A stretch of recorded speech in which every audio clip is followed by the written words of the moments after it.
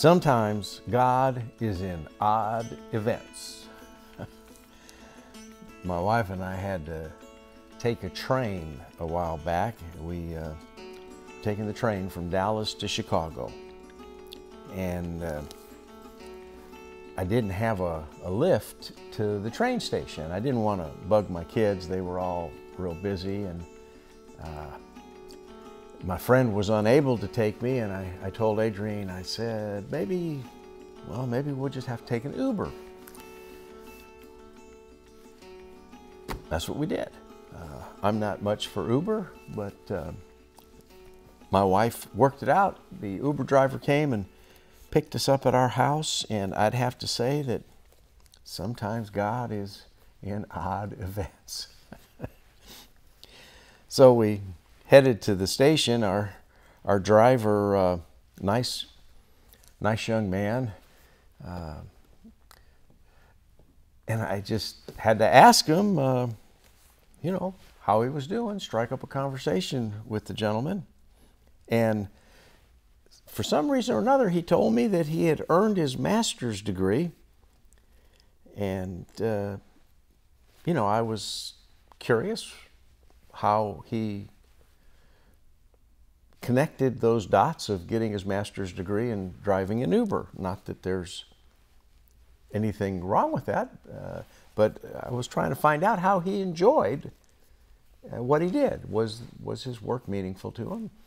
And I was shocked to learn that uh, not only had he received his master's degree, but he had studied and had had uh, intended to become a missionary. And at some point, before actually going to the mission field, he became a, a pastor in a charismatic church. All very interesting. And our conversation moved forward, and I was just asking him about his faith, and he said the most interesting thing. He had chosen to take a deep dive into academia and his studies had created questions in his mind about Genesis and the creation account. And of all things, that left him perplexed. He deemed that the conflicts between what he called the old earth creationists and the young earth creationists are irreconcilable. And I listened politely and was surprised. And the fact is, this young man had completely jettisoned his entire Christian worldview and decided that the God of Judeo Christian religion doesn't exist. Well, I wasn't going to judge the young man, but I was certainly going to inquire further because I found it quite interesting. And I let him know that I was a believer, and I told him that I didn't understand the differences between the biblical interpretations at issue, uh, the things he had raised. I didn't tell him I had multiple undergraduate, multiple graduate, and multiple postgraduate degrees because those things really don't matter. What I told him was, I, would, I had been a drug pusher, I was a drug addict, and Jesus changed my life. And I'm just thankful and willing to answer his question uh, with the response that uh, I don't have all the answers, but mysteries are okay. Yeah. Sometimes God is in the odd events, and I believe mysteries are okay. He asked me how he could be expected to believe the Bible when he couldn't answer the questions about creation. I suggested a good answer might be uh, I don't know. It's kind of arrogant to think that anyone can have all the answers. And he told me he had never had such a deep conversation about such matters. And he told me he had never told anyone else about his story mysteries are okay, and God is often in odd events. So when he dropped us off at the uh, Amtrak station, I asked if we could get together when we return, and he was pleased to do that. We exchanged texts with our contact information, and when I got out of the car, I just really felt God wanted me to go back and talk to him, and I did. And I asked him if we could pray together before we left. And so we stood outside the Amtrak station together and we prayed. Praise the Lord. God is good. He loves us, and sometimes He's in the odd events. So we did get to Chicago, and everything was going along all right. And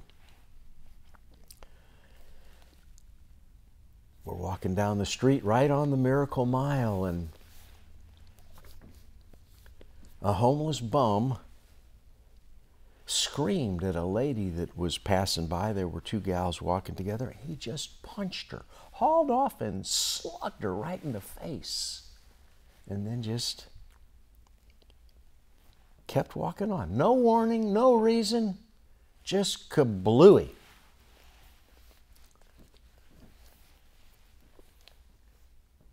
Can such things be?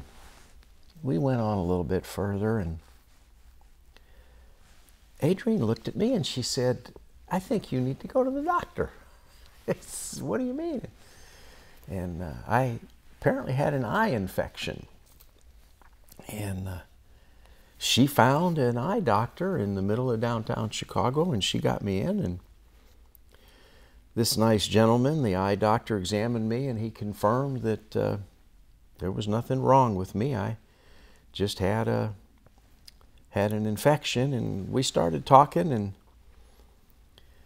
uh, he had a puzzle, a visual puzzle on the wall. and I, I, was joking with him, and he said that only four or five people out of over a thousand were able to uh, solve the puzzle on the wall. And it, my wife, Adrienne, she looked at it.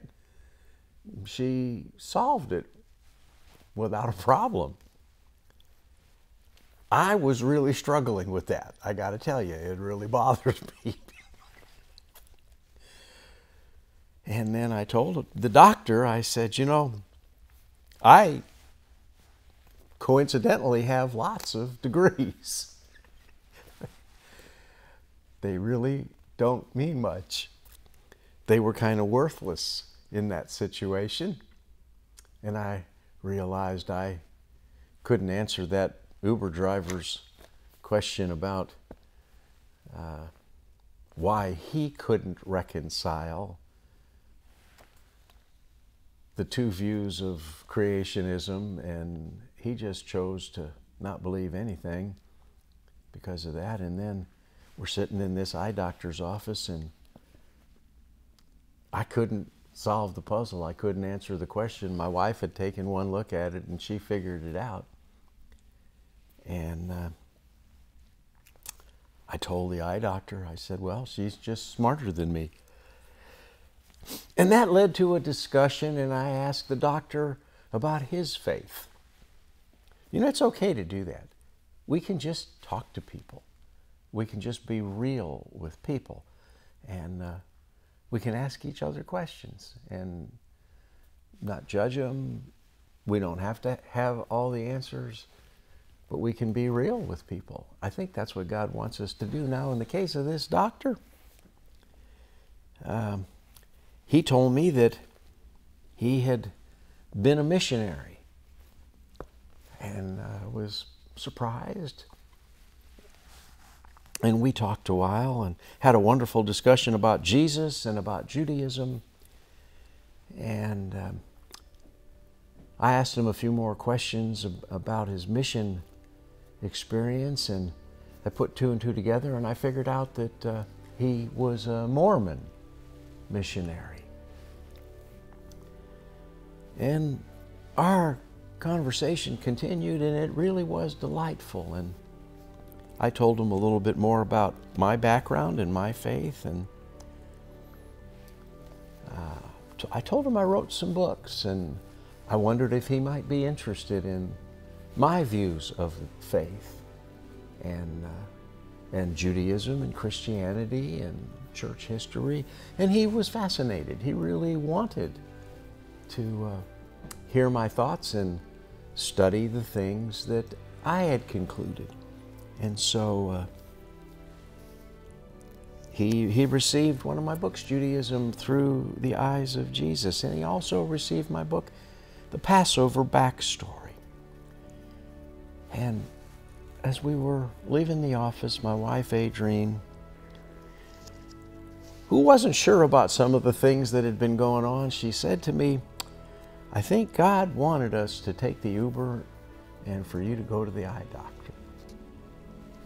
I'm pretty sure that's the case. Sometimes God is just in the odd events. I want to remain open to God. I want to remain aware of what's going on around me. And uh, I want to realize and remain aware that God is often in the odd events, and I guess that would be my encouragement to you is to be willing to just be open and real and there. Be there. Be right there, right there in the moment, wherever you are, whenever you're there. Be aware and realize that uh, God just might be in the odd events.